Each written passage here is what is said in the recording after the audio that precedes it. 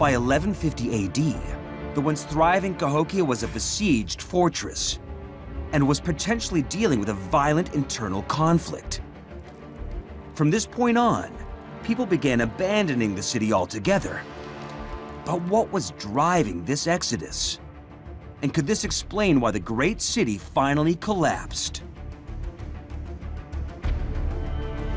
Archaeologist Tim Pauketat believes that the trigger for Cahokia's violent downfall was the very thing that fueled its meteoric rise.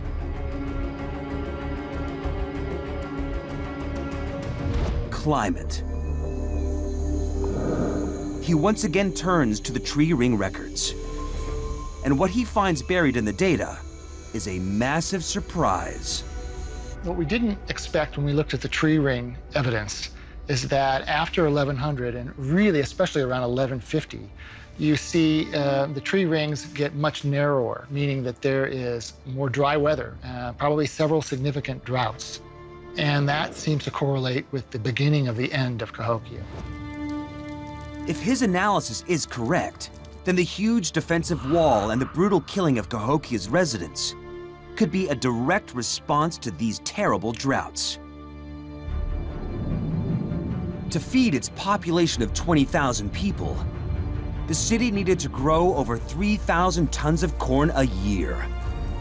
But years without rain would have decimated harvests, leaving the community unable to feed itself.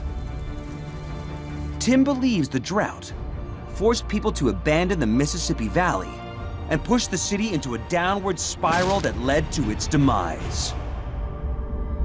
The early drought probably destabilized the relationships and led to people leaving. But then it becomes the problem is people leaving. They don't have enough farmers all of a sudden to sustain this dynamo that was Cahokia. It wouldn't be the first time drought has led to the collapse of advanced civilizations. Both the Mayans and the Aztecs of Mexico suffered severe droughts that ultimately led to their demise.